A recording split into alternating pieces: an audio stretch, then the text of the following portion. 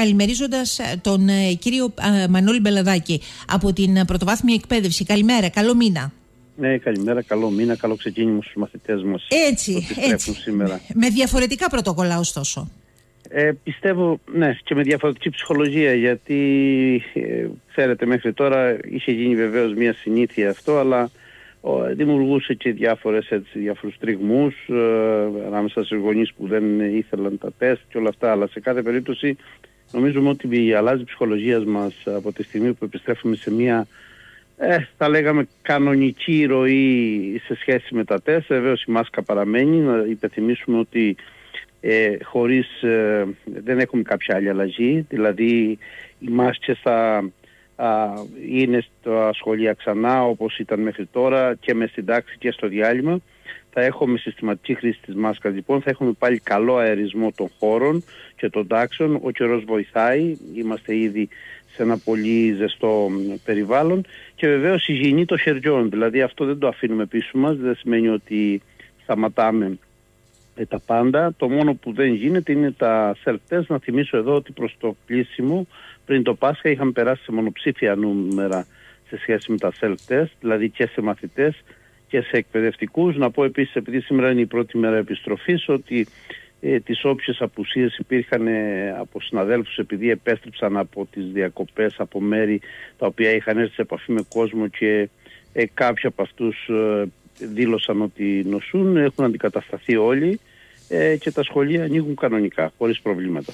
Κύριε Μπελαδάκη, κάτσετε γιατί εγώ δεν το κατάλαβα. Κανένα self-test πλέον για τους μαθητές ή ένα την εβδομάδα; Όχι, όχι. Δεν γίνεται υποχρεωτικά self-test σε μαθητές. Γίνεται μόνο ένα την εβδομάδα στους εκπαιδευτικούς οι οποίοι δεν έχουν εμβολιαστεί. Οι μαθητές εφόσον νοσήσουν, εφόσον δηλαδή παρουσιάσουν κάποια συμπτώματα και νοσήσουν, τότε η διεύθυνση πρωτοβάθμιας θα διαθέτει self-test για να κάνουν προληπτικά έλεγχο οι μαθητές που ήρθαν σε επαφή μαζί τους στο τμήμα και ναι. θα γίνονται δύο self-test την εβδομάδα ένα την πρώτη μέρα και ένα την τέταρτη μέρα. Αλλά πάντα μέσα στο σχολείο.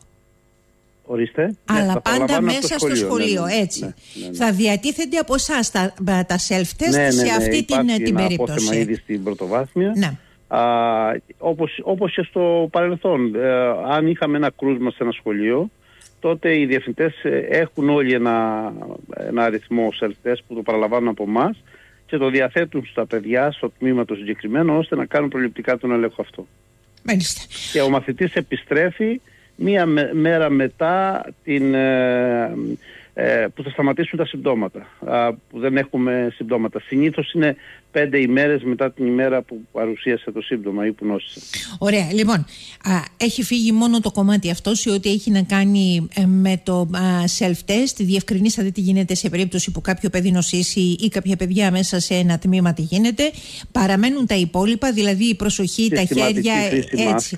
Ακριβώς, ακριβώς. Καλό η μάσκα. αερισμό όλων ναι. των χώρων, των τάξεων mm-hmm. και η υγιεινή των χεριών. Αυτό παραμένει όπως ήταν και μέχρι τώρα. Μάλιστα.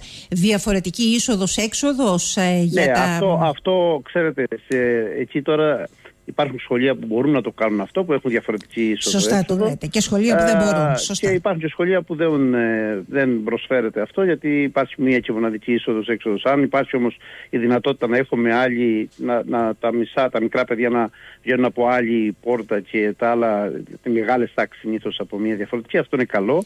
Επίσης, ε, η παραμονή στο χώρο του διαλύματος ε, είχε γίνει μια συγκεκριμένη χωροθέτηση από τους εκπαιδευτικούς ώστε τα μικρά παιδιά να συγκεντρώνονται σε ένα άλλο χώρο, τα μεγάλα σε κάποιον άλλο, ανατάξει. Αυτό εξακολουθεί να παραμένει. Δηλαδή τα, ε, ο προγραμματισμός που είχαν κάνει οι σύλλογοι διδασκόντων δεν αλλάζει. Το μόνο που αλλάζει είναι η υποχρεωτική δήλωση του ΣΕΛΤΕ για να εισέλθει κάποιος στον χώρο του σχολείου. Ε, αυτό αλλάζει και αλλάζει μετά από εισήγηση της Επιτροπής και μετά από ε, αξιολόγηση όλων των ε, στοιχείων που είχε γιατί όπως σας είπα προς το τέλος, προς το κλείσιμο μιλούσαμε πια όταν δήλωναν δηλαδή το τεστ καθημερινά μιλούσαμε για μονοψηφια για πολύ μικρά νούμερα οπότε αρχίζει να, να επιστρέφει η, η, κανονικότητα θα λέγαμε σε ένα βαθμό, αλλά χωρίς όμως εφηγασμό. Κύριε Μπελαδάκη, χωρίς άλλες οδηγίες, θέλουμε να πούμε μέχρι αυτό το σημείο που μιλάμε; Mm-hmm. Μάλιστα. Λοιπόν, άντε, καλό υπόλοιπο. Πότε κλείνουν τα σχολεία. Να πάνε όλα καλά. Έτσι. Θέλουμε να έχουμε θετική διάθεση.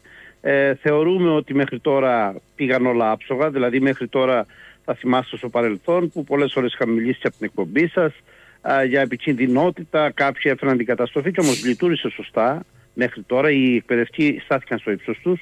Δεν είχαμε αυτές τις ε, διασπορές που έλεγαν κάποιοι, ας θυμηθούμε ότι τα σχολεία άνοιξαν όπως έκλεισαν όλες αυτές οι ατάκες σε τα κλειστές. Μέχρι τώρα πήγαινε καλά και οφείλουμε να το πιστώσουμε αυτό στους εκπαιδευτικούς, αλλά να το πιστώσουμε και στους μαθητές που τήρησαν τα μέτρα και στους γονείς οι οποίοι ήταν συνεργάσιμοι. Όλο αυτό λοιπόν που εξελίχθηκε μέχρι τώρα, ε, να υπενθυμίσουμε ότι φέτος ήταν μια χρονιά που δεν είχαμε κλειστά σχολεία. Δηλαδή τα σχολεία δεν είχαν με τηλεκπαίδευση, δεν λειτουργήσαν με εξαποστάσεως εκπαίδευσης, λειτουργήσαν διαζώσεις.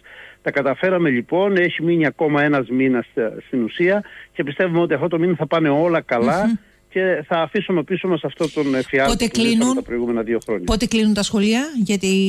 15, 15 Ιουνίου είναι η τελευταία μέρα που θα έχουμε τους μαθητές και οι εκπαιδευτικοί θα παραμείνουν μέχρι στις 21 Ιουνίου για τα γραφειοκρατικά που απαιτούνται.